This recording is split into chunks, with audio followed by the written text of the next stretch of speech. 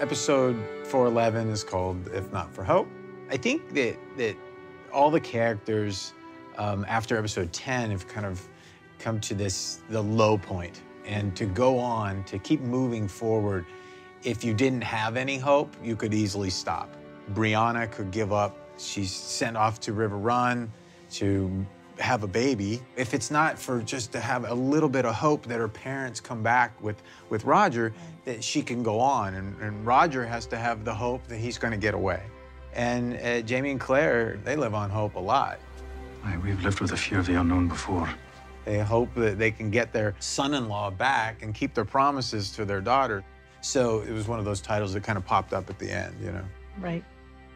Jocasta, she's been a little pissed off since uh, Jamie rejected her offer of inheriting River Run. She's like a little surly, like, oh, great, this is the daughter of that woman that I don't really love. And the daughter's just as opinionated and outspoken as her mom. I told Phaedra I don't need a new dress. But at the same time, she's just so grateful to be able to have someone to be maternal towards that I love seeing the bond between her and Brianna. But there's comfort to be found in the company of others. She does give her some hard truths. You've a bairn coming. Your time to be particular is long past.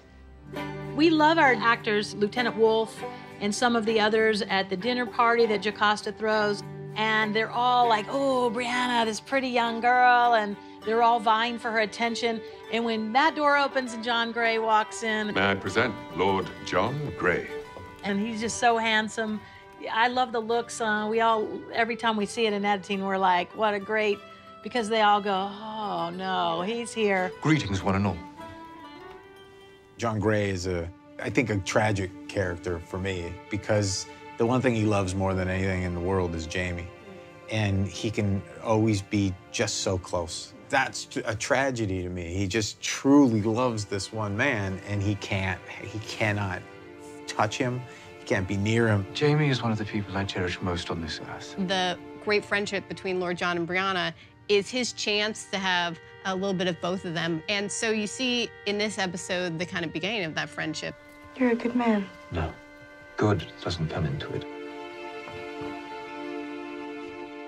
I uh, do have something for occasions such as these that I learned a long time ago on the subject of psychology. Matt came up with this great thing about psychology and playing this psychology game. Well, it sounds intriguing. I didn't even know the word psychology existed back then, but the, we did the research, and through the psychology game, she realizes that John's gay and that he loves Jamie, and no one faults him for that. We have a saying with Jamie is like, who does not love Jamie? And it really gives them this special bond that I think I've never seen anything like that on TV before, that kind of relationship and those kind of dynamics between Claire, the wife, the daughter, and the man who's in love with, with Jamie, who we're all in love with.